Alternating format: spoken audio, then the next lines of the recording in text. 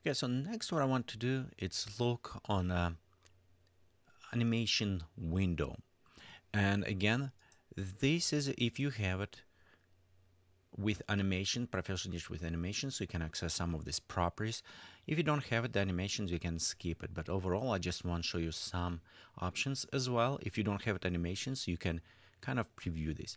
So what's happening every time when you, for example, going in some properties, you'll notice right on the side you have it kind of like infinity curve or A. This is meaning you can set animations, import or set animations key for that properties.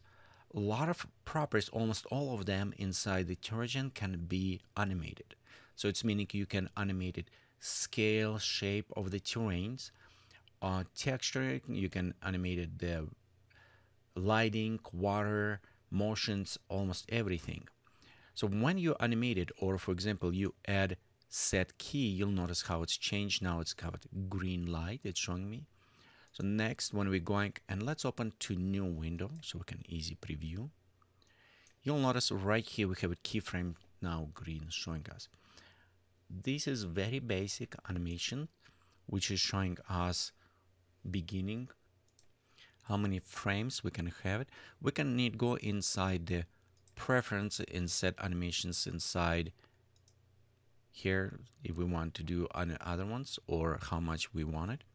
Also, let me go back to our, my animation menu. We can have it preview linear, it's almost same like we have it on the bottom, so we can go and look on a keyframe general, all of them.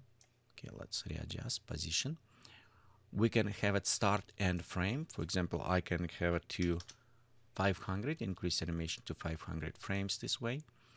Same jump to current frame or a frame we set. For example, if I want to go to 35 frame, I can go right here. We can go to um, fit all workflow in one, fit to the keys, jump first, last, step through each keyframe, and play animations loop or toggle, so it's going around. We also can go back and forth on animations preview. In some cases, when you want to create natural motions, it's you want to go back and forth. It's easiest way to find out if something doesn't look right. And of course, you can um, toggle between the real frame and frame by frame playing. Okay, right here you notice you have it keys now is displaying because I add to fractal shaders the scale. So now we have our option display. If I add more, the more in the tree will create it and showing. We also have a different mode, linear or accelerated TBC. And as well, we have it same type of the properties when we go fit um, frame and range, fit selected keys, fit to the curve because we creating curve. And one thing till I mentioned about curve, you remember, um, if you're exporting, be sure you bake animation from the curve animations to the keyframe. And when you bake, you'll notice in your animation window, instead the curve, you will have it each single frames. So you also have it different type of the scales applied. Uh, some of those options become more understandable when we start working actually with animations. So overall, it is overview. Um, okay, we can preview a keys or a curve and of course we can jump directly to the frame values or or other options. Overall, this navigations and visual preview of our animations. If we have a curve, we can also easy modify curve by take bezels and align them. So right here, this is simple animations um, windows. We also have it very fast access to just on the bottom of our screen. Instead have it extended, you can go very fast jump. Uh, one right here, let's speak about animations. Look, look on this project settings. If you don't have it other menu, you can also open project settings where you can specify beside all this information we have it below, right here on the bottom, we have it also current frame and start and end frame. I did modify end frame to 50 inside the menu.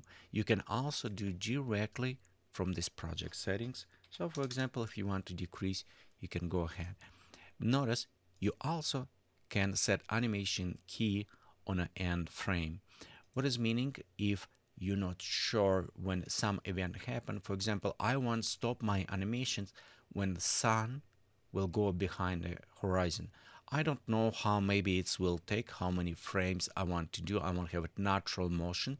So I can specify um, altitude, I can specify acceleration or moments time, but I don't know how many frames it's taken. So I can go set animation key tied up to specific event and after this its end frame will adjust based when this event is happen. So next we also have it current frame and all this information and not necessarily related to the animations but overall the name who written version after and additional comments. As well you have your internal um, network or set on your network right here center on the network. Um, the one other things even it's look um, very simple the animations but because we have so much interactions between different um, properties that we can animate between each other, even animate its own keyframes and everything. This is actually a very complex and very powerful tool and it will require a set of tutorials on its own just to go through different type of animations, natural animations and how we can link all those properties to work very well for us.